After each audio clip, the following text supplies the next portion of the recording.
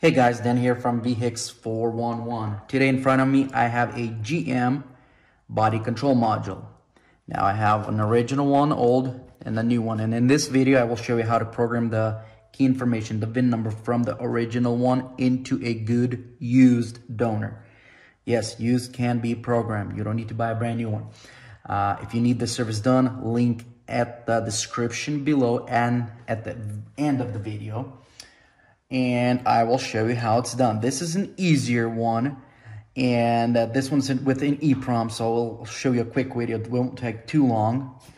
And as you can see, this thing is pretty flooded. Let me zoom in here. And you can't really see it on the connectors, when you do open it apart, you can see all that nasty stuff over there, corrosion and all the blue stuff. Now, I, I already did locate an EEPROM on this one, cleaned it up.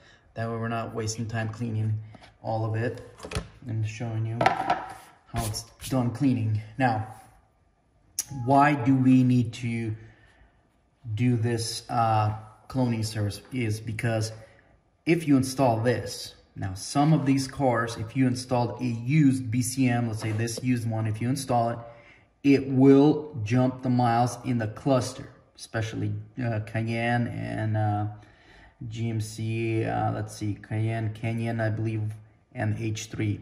Now, if you do install it, then I do have another video on how that's done. You'll need to program cluster back and the body control module that will, it will match your car's miles. So don't install it until you do the clone service first because a lot of these GMs will jump the miles, then you end up doing a cluster also on that.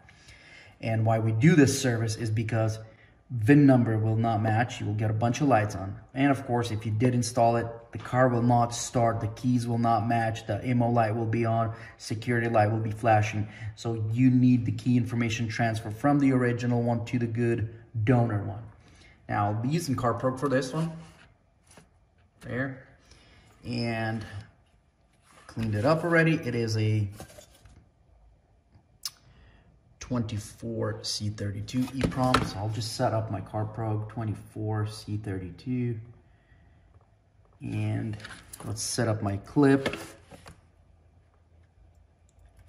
Set it up over here. Now this is already clean, so I'll just hold it, hold it together and click read. And as you can see, we're reading the information from the EEPROM and boom, we are verifying, make sure we read it good.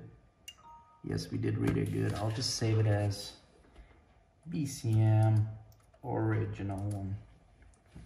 So we read the original one, if you can see, here's the miles, here's the coding information, the body, uh, the part, the part numbers and all that coding for the body control module.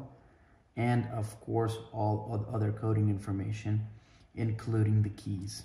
So all the keys and everything is all in here. So what we're gonna do is set this aside.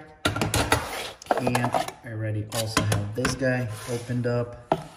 I do have my EEPROM already here. It's all cleaned up. And I will also read this one.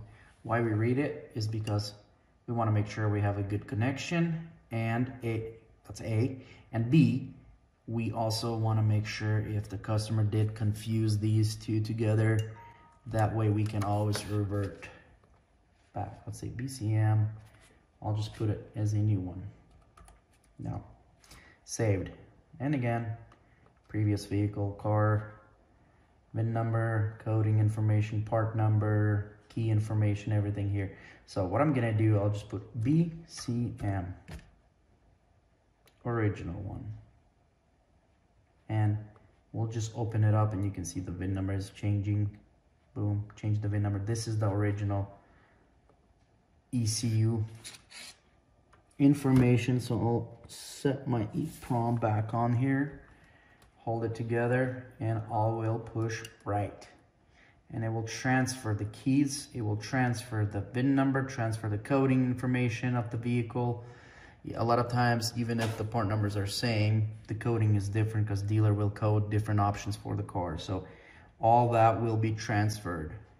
and ammo light will be off anti-theft light will be blinking and the car will start and in this case it verified it good that means we've written it perfectly fine and that's how easy it is to do an EEPROM BCM EEPROM transfer from original to a good donor now the harder ones if it's like a processor these are a little bit harder not a little, a lot harder. You need special connections to connect to it, to read it, and you need a diagram and all that. So I do have videos on that, but this is an easier. I just wanted to put it out there. If you do need the service, link below or at the end.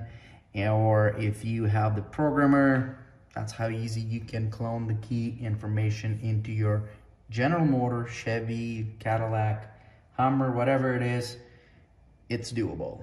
Well, do share, do like these videos, and I will see you in the next one. Thanks for watching.